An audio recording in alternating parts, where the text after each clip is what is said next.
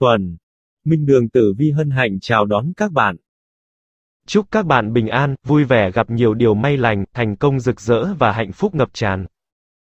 Sau đây mời các bạn đón xem tử vi tuần mới của 12 con giáp từ ngày 28 tháng 12 năm 2020 đến 3 tháng 1 năm 2021 dự báo những thay đổi trong tuần, giúp các bạn chủ động hơn trong mọi công việc. 1. Tử vi tuổi Tý từ ngày 28 tháng 12 năm 2020 đến 3 tháng 1 năm 2021.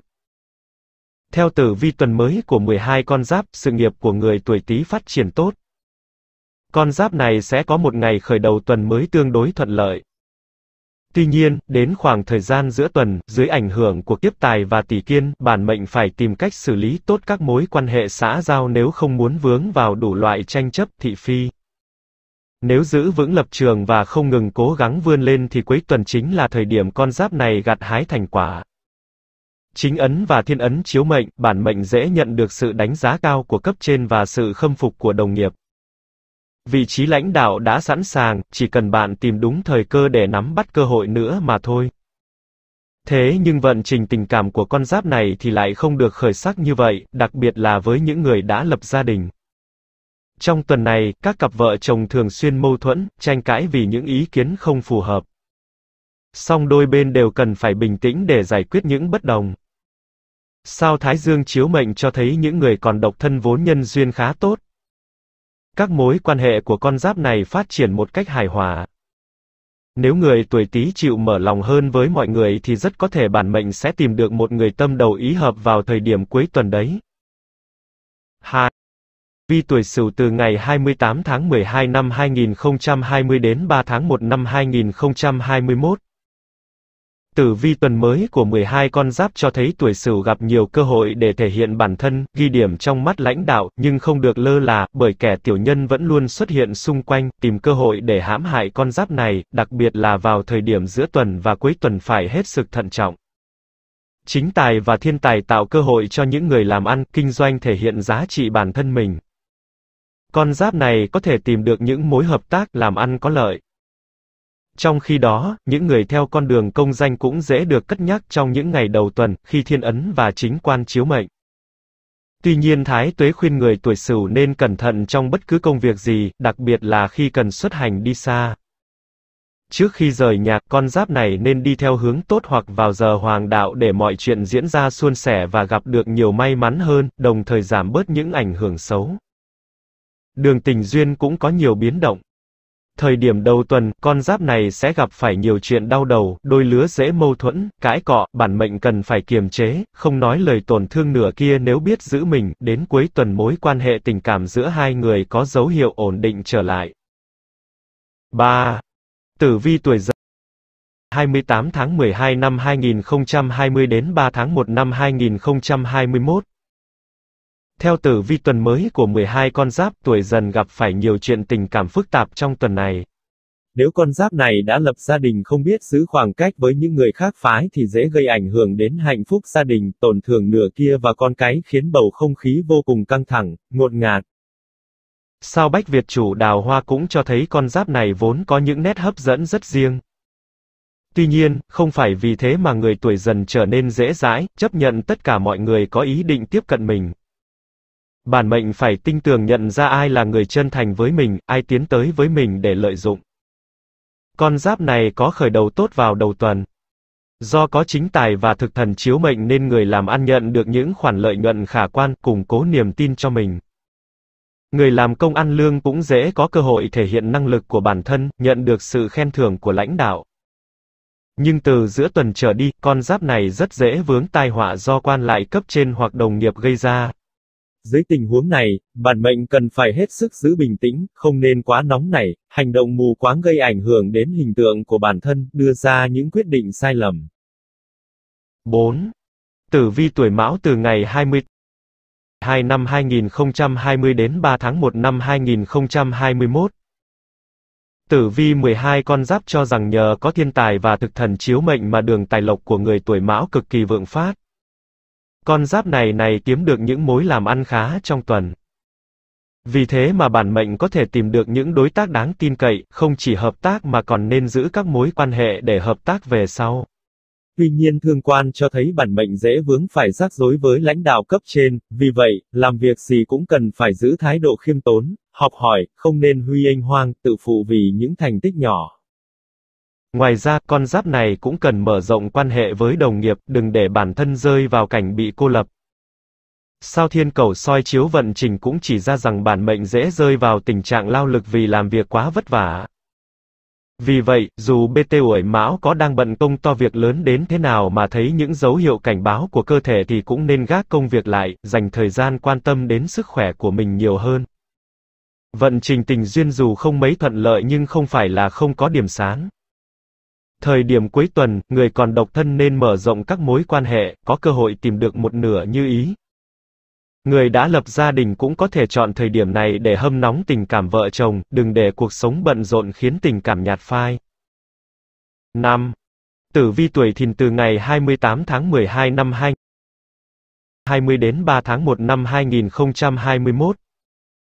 Tử vi tuần mới cho biết, một tuần vô cùng thuận lợi đối với người tuổi thìn, cho dù con giáp này là người làm công việc bàn giấy hay người làm ăn kinh doanh. Đầu tuần, thiên quan có thể mang lại ít nhiều rắc rối, nhưng nếu có thể giữ bình tĩnh thì bản mệnh có thể vượt qua một cách khá thuận lợi. Từ khoảng thời gian giữa tuần trở đi, cơ hội liên tiếp kéo đến, vì vậy con giáp này cần phải chuẩn bị tâm lý sẵn sàng, tránh bỏ lỡ cơ hội một cách đáng tiếc. Nếu có thể bắt được cơ hội phát triển, ước mơ làm giàu đã chẳng còn nằm ngoài tầm với. Bản mệnh chính là một trong số những người phát tài bất ngờ. Sao Thiên Đức phù trợ cũng thấy rằng người làm ăn, kinh doanh gặp được nhiều chuyện thuận lợi hơn người làm công việc bàn giấy. Con giáp này có thể được tiếp xúc với một vài cơ hội khá có triển vọng. Khi cơ hội mở ra trước mắt, hãy mạnh dạn nắm bắt bởi tiềm năng của bạn vốn lớn hơn tưởng tượng của bạn rất nhiều. Tuy nhiên, đường tình duyên của tuổi thì lại không được như ý muốn. Đôi lứa thường xuyên xảy ra cãi cọ, mâu thuẫn vì những quan điểm không thống nhất. Những người còn độc thân không có bước phát triển nào đáng kể trong tình cảm bởi bản mệnh quá khép mình, không dám tiến một bước ra khỏi vùng an toàn của mình. 6. Tử vi tuổi tỵ từ ngày 28 tháng 12 năm 2021 năm 2021. Tuần này dự báo tuổi tỵ trở nên cực kỳ đào hoa. Con giáp này không cần tốn công thể hiện sức quyến rũ của bản thân mà vẫn nhận được rất nhiều sự chú ý đến từ người khác phái.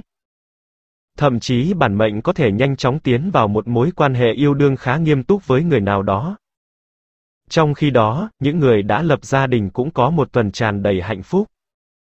Con giáp này và nửa kia luôn trò chuyện để thấu hiểu nhau nhiều hơn. Nếu có mâu thuẫn xảy ra, đôi bên không căng thẳng hay to tiếng với nhau mà luôn bình tĩnh lắng nghe suy nghĩ của đối phương và tìm ra cách giải quyết thích hợp. Tuần này, người làm ăn kinh doanh sẽ thu được lãi lớn do nhận được sự phù trợ của chính tài và thực thần. Cơ hội làm ăn đến, thậm chí không cần tuổi tỵ phải cố gắng. Tuy nhiên bản mệnh không nên biết được đâu là điểm dừng, không nên quá mức tham lam, làm ăn không hợp pháp, dẫn đến sự kiện tụng, tranh chấp với cấp cao. Bạch hổ mang lại điềm báo con giáp này cần phải quan tâm đến sức khỏe của chính mình và những người thân yêu. Khi tham gia giao thông, bản mệnh cần hết sức tập trung và chú ý, không nên lái xe trong tình trạng mệt mỏi, thiếu tỉnh táo để giảm thiểu những sự cố ngoài ý muốn. 7. Tử vi tuổi ngọ từ ngày 28 tháng 12 năm 2020 đến 3 tháng 1 năm 21. Tử vi tuần mới từ của 12 con giáp nói rằng, vận trình công danh sự nghiệp của người tuổi ngọ hung cát đan sen. Dù những kế hoạch bạn lập ra có đang tiến triển thuận lợi thì bạn cũng không nên sơ suất, lơ là, để kẻ gian lợi dụng sơ hở hoặc mắc những lỗi sai ngoài ý muốn, ảnh hưởng đến chất lượng công việc. Thiên quan và thương quan gây nhiều tác động lớn đến sự nghiệp của bạn. Vì vậy, nếu có công việc phải giao tiếp với lãnh đạo hoặc quan chức cấp cao, bạn cần phải hết sức thận trọng. Đặc biệt, con giáp này cần phải cẩn thận cách nói năng, nếu không dễ vô tình tổn thương người khác, chịu những rắc rối không đáng có. Tuy nhiên, cát tinh ít nhiều cũng mang lại may mắn cho tuổi ngọ. Vì vậy, nếu còn trẻ tuổi không nên có những suy nghĩ bi quan, vội vàng đầu hàng nghịch cảnh. Hãy không ngừng cố gắng rèn luyện bản thân, luôn ở trong tư thế sẵn sàng, để đến khi cơ hội tới, bản mệnh sẽ không rơi vào cảnh bất ngờ, bỡ ngỡ, Điểm sáng trong tuần chính là tình cảm của con giáp này. Nửa kia luôn là một người dịu dàng và thấu hiểu, sẵn sàng ở bên mỗi khi bản mệnh gặp khó khăn. Vì vậy, nếu có gì khó chịu tuổi ngọ không nên giấu trong lòng mà hãy tâm sự với người ấy nhiều hơn để tìm ra cách khắc phục chính xác nhất. 8. Tử vi tuổi mùi từ ngày 28 tháng 12 năm 2020 đến 3 tháng 1 năm 2020. Tử vi tuần mới nói rằng tuổi mùi làm công chức dễ có bước thăng tiến vượt bậc nhờ có sự trợ giúp của thiên ấn và chính quan. Tính cách thẳng thắn, cương trực của con giáp này khiến đồng nghiệp nể phục và cấp trên đánh giá cao.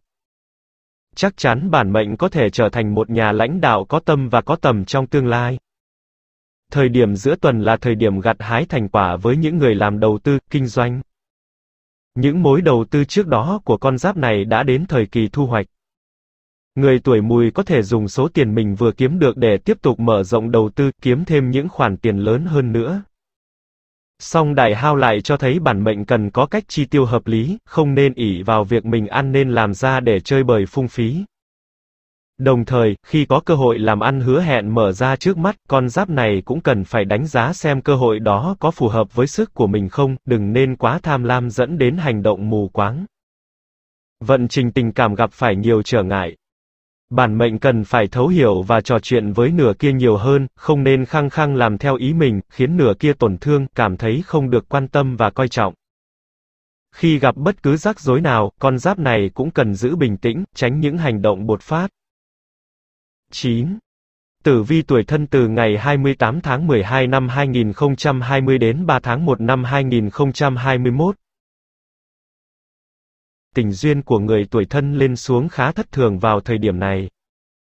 Con giáp này có một khởi đầu tuần khá tốt, nhưng từ khoảng thời gian giữa tuần thì rắc rối liên tiếp xảy ra, khiến bản mệnh cảm thấy mệt mỏi, thậm chí là trở tay không kịp. Người còn độc thân hay người đã lập gia đình đều cần phải cẩn thận với những người chủ động tiếp cận mình, giữ khoảng cách với người khác giới. Nếu quá dễ dãi với chính bản thân mình thì mai sau, người chịu tổn thương cũng chỉ có chính con giáp này và những người thân thiết nhất bên cạnh.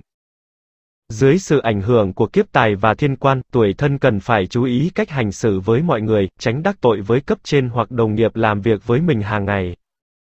Nếu khắc phục được tính nóng vội thì con giáp này vẫn có cơ hội khẳng định giá trị bản thân mình, đặc biệt là với những ai theo nghiệp bàn giấy. Tiểu hao cho thấy những người làm ăn kinh doanh cần hạn chế đầu tư trong thời điểm này, nếu không, bản mệnh rất dễ rơi vào tình trạng hao tài tốn của mà lợi ích thu lại thì không được bao nhiêu. Tốt nhất, con giáp này đừng quá tham lam mà hãy kiên nhẫn và chờ đợi một cơ hội thích hợp hơn. 10. Tử vi tuổi dậu từ ngày 28 tháng 12 năm 2020 đến 3 tháng 1 năm 2021. Tử vi tuần mới chỉ ra đi theo con đường công danh sự nghiệp dễ dàng sử dụng điểm mạnh của mình để gây ấn tượng với lãnh đạo cấp cao. Con giáp này là người thẳng thắn và vô tư, luôn cố gắng vươn lên dựa trên chính công sức của cá nhân mình. Hãy đặt ra những đích đến tham vọng hơn cho mình. Tuy nhiên, sao xấu ngũ quỷ soi chiếu vận trình tuần này cũng chứng tỏ xung quanh bản mệnh không thiếu những kẻ tiểu nhân ganh ghét. Vì vậy, người tuổi dậu cũng không nên lơ là, mắc phải những lỗi sai không đáng có và tạo kẽ hở cho những kẻ xấu bụng lợi dụng, hãm hại. Về phương diện tài lộc, người làm ăn kinh doanh không gặp nhiều cơ hội trong tuần, tuy nhiên, cơ hội lại đến với con giáp này vào khoảng thời gian cuối tuần, đặc biệt là thứ bảy, chủ nhật. Chính vì thế bản mệnh hãy nhanh chóng nắm bắt thời cơ, không nên để kẻ khác chiếm được thời cơ, vượt qua mình. Vận trình tình duyên của con giáp này lại không có nhiều khởi sắc. Tình cảm giữa bản mệnh và nửa kia đang dần dần trở nên lãnh đạm. Người tuổi dậu không nên cố tình làm lơ tình trạng này, khiến hôn nhân đi tới bờ vực dạn nứt. Hãy tìm ra khúc mắc giữa hai người và khắc phục nhanh nhất có thể nhé. 11.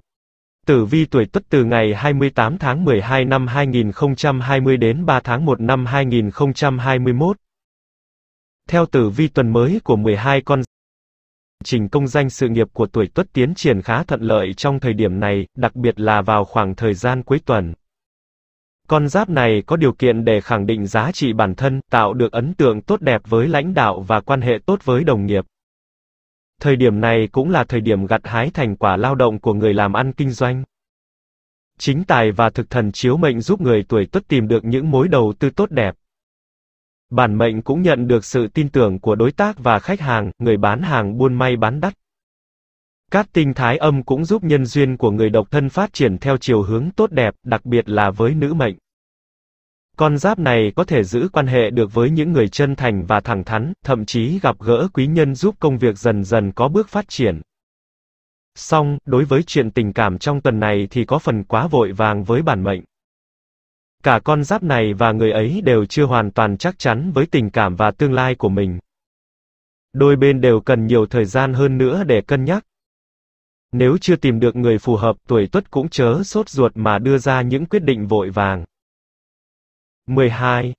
Tử vi tuổi hợi từ ngày 28 tháng 12 năm 2020 đến 3 tháng 1 năm 2021. Tử vi hàng tuần dự báo, cảm xúc của người tuổi hợi lên xuống. Trong tuần này, mà chủ yếu là những quãng trầm. Con giáp này ngại mở lòng mình với những người xa lạ nên khó có thể tìm được nhân duyên như ý. Người khác giới cũng không dành nhiều sự quan tâm cho bản mệnh. Đối với những người đã yên bề ra thất phải kiềm nén nhiều, nhất là khi vợ chồng có những quan điểm mâu thuẫn với nhau. Giữ mọi chuyện trong lòng không phải là thói quen tốt, việc này chỉ khiến con giáp này ngày càng trở nên căng thẳng mà thôi. Nếu có gì bức xúc, vợ chồng nên chia sẻ thẳng thắn với nhau. Sự nghiệp của bản mệnh cũng không quá thuận lợi trong thời điểm này, đặc biệt là quãng thời gian đầu tuần. Tuổi hợi dễ vướng phải xích mích với đồng nghiệp hoặc dễ làm mất lòng với cấp trên. Tuy nhiên, nếu có cách ứng xử phù hợp thì sẽ vượt qua tất cả. Khoảng thời gian cuối tuần chính là lúc con giáp này vươn lên khẳng định bản thân. Sao dịch mã chiếu mệnh khuyên con giáp này nên tích cực hơn trong mọi việc, không nên ngại khó khăn, gian khổ nhất thời. Hiện tại, bản mệnh càng cố gắng bao nhiêu thì tương lai sẽ càng thu được kết quả rực rỡ bấy nhiêu. Ai rồi cũng sẽ nhận được thành quả xứng đáng với công sức của mình. Cảm ơn các bạn đã theo dõi video. Mong rằng những thông tin hữu ích sẽ giúp các bạn cải biến vận trình của mình tốt hơn. Chúc các bạn có một tuần bình an hạnh phúc.